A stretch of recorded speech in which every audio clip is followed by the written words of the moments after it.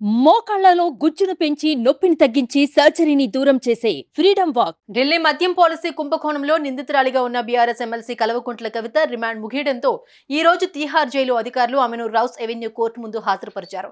అయితే కవిత judicial remand పొడిగించాలి అంటూ ED అధికారుల పిటిషన్పై మధ్యాహ్నం రెండు గంటలకు విచారణ జరపనున్నట్టు కోర్టు వెల్లడించింది. కాగా కోర్టులోకి వస్తున్న సందర్భంలో ఎమ్మెల్సీ కవిత జై తెలంగాణ జై భారత్ అంటూ నినాదాలు చేశారు.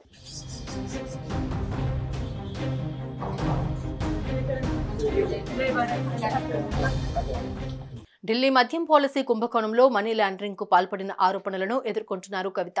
ఇప్పటికే ఎన్ఫోర్స్మెంట్ డైరెక్టరేట్ అధికారులు ఆమెను అరెస్ట్ చేశారు. ఈ కేసులో ఆమె జ్యుడిషియల్ కస్టడీలో కొనసాగుతూ ఉన్నారు.